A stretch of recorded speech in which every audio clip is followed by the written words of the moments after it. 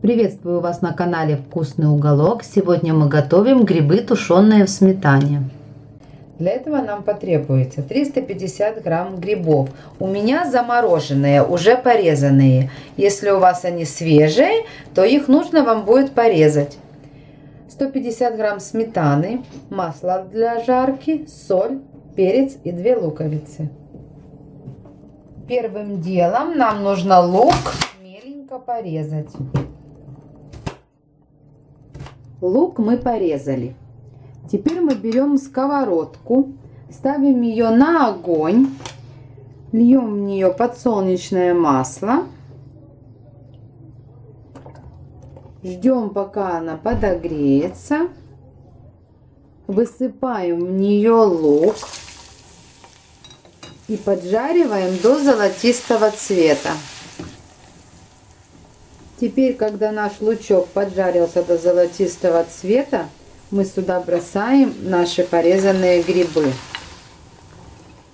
Хорошо перемешиваем и тушим примерно минут 10-15, чтобы испарилась лишняя влага.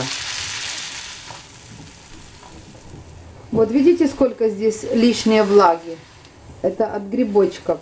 Нам надо, чтобы она вся испарилась практически. Для того, чтобы эта жидкость испарилась быстрее, нам нужно увеличить огонь и периодически перемешивать. Теперь, когда наша жидкость уже испарилась, мы добавляем соль по вкусу. Я добавляю пол чайной ложечки. Перчим. Добавляем нашу сметану. Хорошо перемешиваем это все. Накрываем крышечкой и даем потушиться 5-7 минут. Все, наши грибочки готовы.